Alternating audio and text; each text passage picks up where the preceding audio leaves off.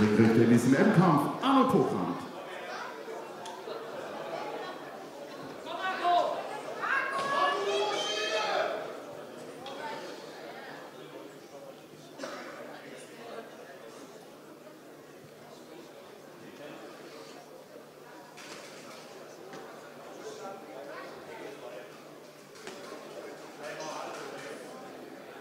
Und für diesen Kampf heißt es Ringfight zur ersten Runde. Ja, unser erster Titelkampf der Boxing Masters hier in Riedberg. Es geht um den vakanten WWF-Halbschwergewichtstitel zwischen Marco Knecht, die rote Ecke. Ja, und auch wenn man ihn jetzt vielleicht nicht mehr gleich erkennt, aber er ist auch schon ein paar Jahre älter geworden, der Gegner aus der blauen Ecke, Steven Küchler. Eine, ja, ich nehme es ihm jetzt einfach mal raus, eine absolute Legende im Amateurboxsport in Deutschland. Siebenfacher Chemiepokalsieger, zweifacher Militärweltmeister und, und, und. Ja, stand auch für Universum Box Promotion. Im Ring leider gab es dann viele Verletzungen, die dazu führten, dass Kügler seine aktive Karriere beenden musste, bevor sie überhaupt im Profigeschäft richtig an Fahrt aufgenommen hat.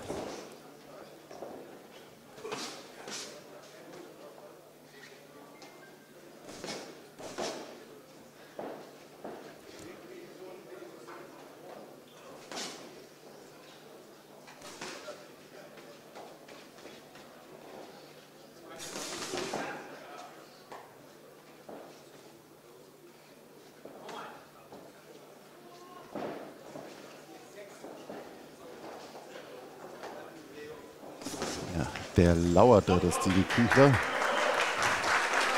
Da merkt man, dass der Mann auch mit ein, dass der Mann auch trotz seiner 46 Lenze das noch überhaupt nichts wirklich so verlernt hat. Klar, jetzt werden einige sagen, Mensch, der Kommentator übertreibt hier ein bisschen so mit diesen Lobeshymnen. Aber wie gesagt, ähm, man sieht es noch auch, wie er agiert. Äh, das, da ist einer, der wirklich einiges geleistet hat im Boxsport. Allerdings war er in dieser ersten Runde etwas zu passiv. Ich denke, dass diese an Marco nicht gehen wird.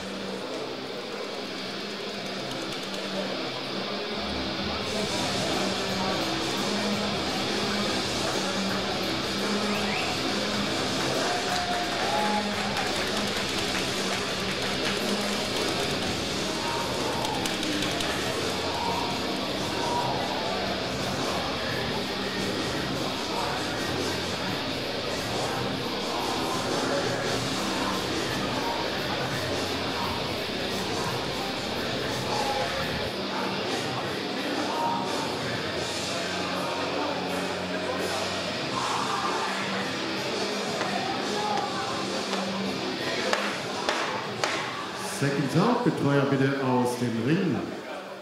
Und ringfrei zur zweiten Runde. So, die zweite Runde in diesem ersten Titelkampf. Veranstaltung, wenn ich mich umschaue, die Plätze immer besser gefüllt. Wir hatten sogar in unserer ersten Pause gesagt, also weitere Karten dürfen nicht mehr verkauft werden. Toll, dass diese Art von Boxen hier so großen Zuspruch findet. Man muss aber auch sagen, dass dem Veranstalterteam Pieper und Stückrot ähm, ja wirklich mit, dieser Location ein absoluter Glücksgriff gelungen ist.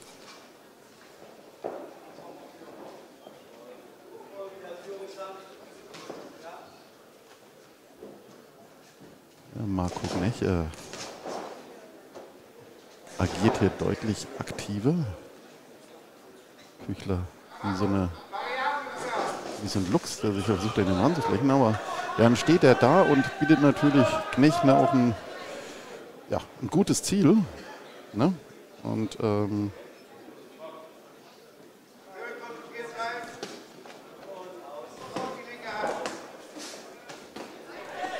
jetzt trifft er gut zum Körper und dann, wenn er dann zum Körper trifft, der Siebenküchler, dann, dann knallt das gut.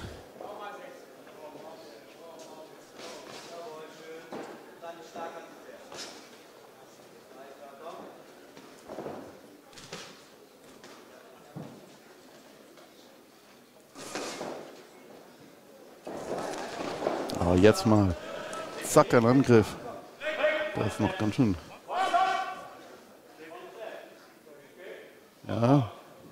Richter Arno Prokant meint hier Marco Knecht. One step back. Das ist das, das offizielle Vorgehen bei Break. Beide Boxer automatisch einen Schritt zurück. Küchler hier mit sicheren Doppeldeckung. Da geht das Ganze auf die Deckung. Interessante zweite Runde. Der Küchler ein bisschen besser in den Kampf findet.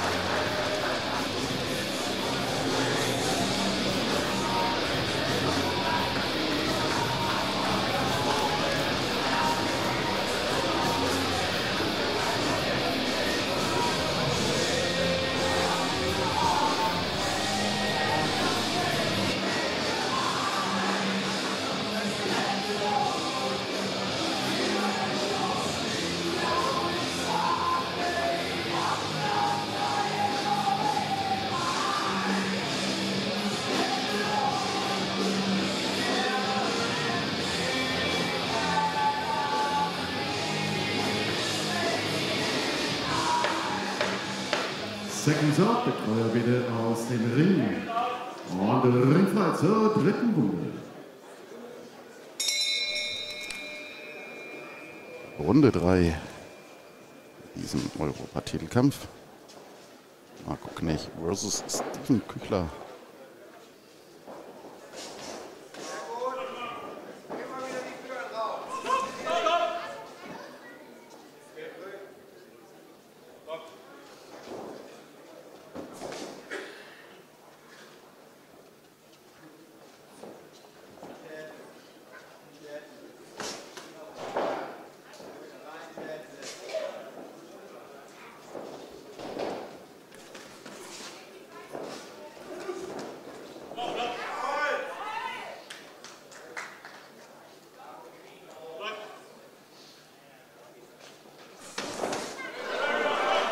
Da hatte Marco gleich Küchler gut abgefangen. Wer jetzt gedacht hatte, hier, das wird ein netter Aufgelob für Küchler. Weit gefehlt.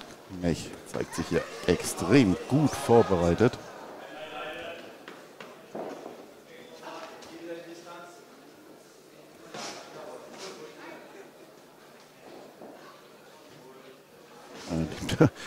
Steven Küchler nimmt da noch die Hände so leicht auf den Rücken.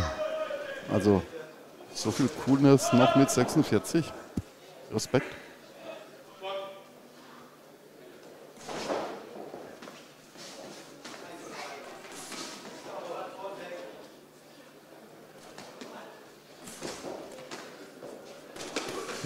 Hey, guter Körpertreffer von Kügler sofort gekontert von Marco Gnech.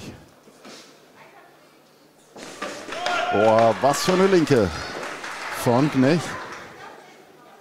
Aber egal, was Gnech hier auspackt, es hat so den Anschein, als wenn es Küchler nicht die Bohne interessieren würde.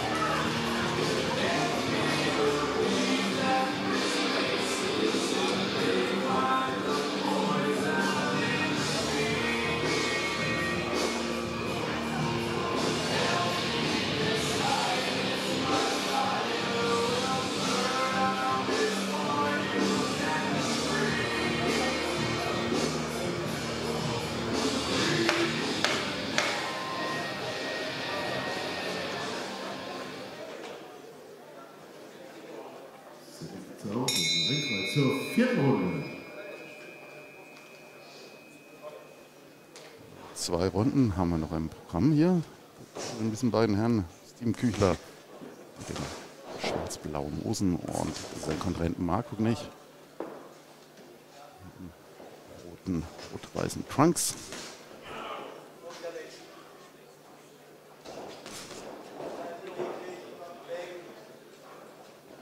Ja, man könnte hier so das Gefühl gewinnen, Küchler er lauert hier praktisch nur auf seine Chance.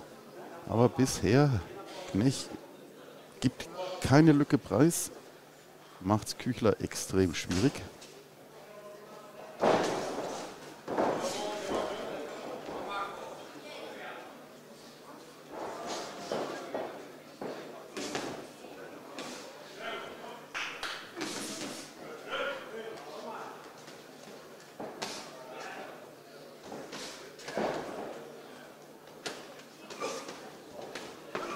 Ja, Knecht bisher, wenn er, man ist äh, immer der Erste mit einer Aktion, die er ins Ziel bringt. Küchler braucht da einen Ticken zu lang. Das sagt sich, wie gesagt, immer so einfach. Oh, der Uppercut war da von Knecht.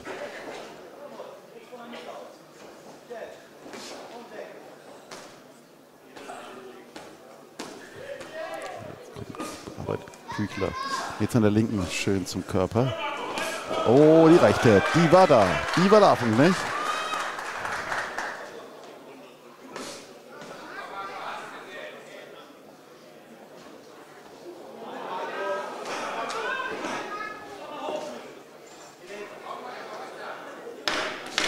Die letzten Sekunden in dieser vierten Runde und abermals stark, was Marco Knecht hier gezeigt hat. Ich denke, so langsam wird es also nach Punkten bin ich mir relativ sicher, dürfte es für Küchler nicht reichen, was der ehemalige Militärweltmeister braucht. Ganz klar, den Knockout.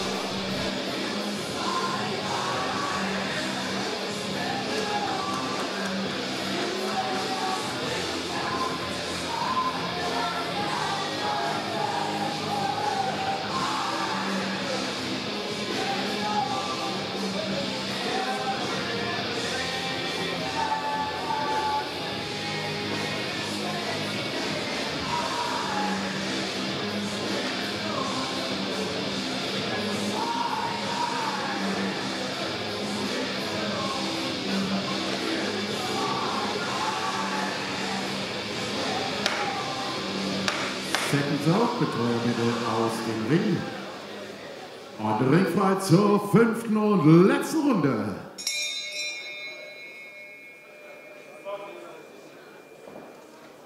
Die fünfte und letzte Runde im Europatitelkampf im Halbschwergewicht der World Boxing Foundation zwischen Marco Knech und Steven Küchler. Diese äußerst vier interessante Runden, die beide hier gezeigt haben, mit Vorteilen für den Boxer in der roten Ecke. Schauen wir aber mal, wenn, es, wenn wirklich die Punktrichter das letzte Wort haben sollten, wie die den Kampf selbst gewertet haben.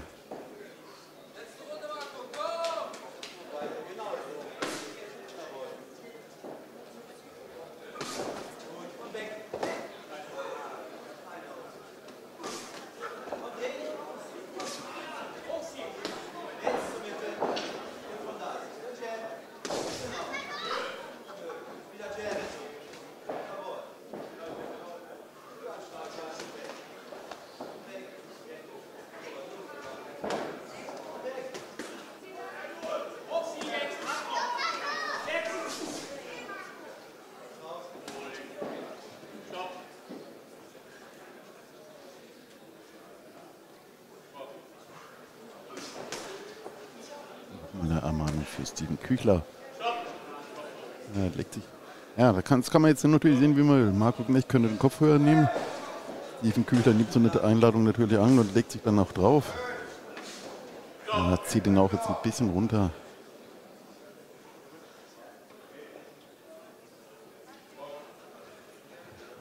freundschaftliche Worte von Arno Pokant, der beide natürlich zu Genüge kennt. Kein Wunder, wenn man Ringrichter mit einer solchen Erfahrung ist. Ja, also das macht Nech hier schon sehr, sehr souverän. Und mal schauen, wie die Wertung der Punktrichter aussehen wird. Aber ich denke, das sollte eigentlich eine klare Sache sein.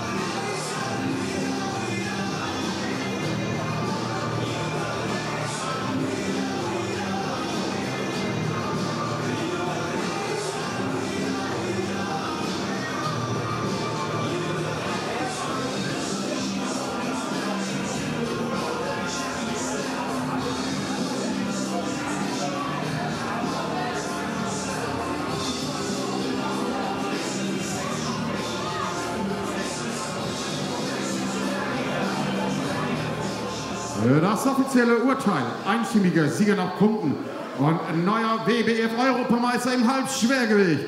Der Boxer aus der roten Ecke, Knecht.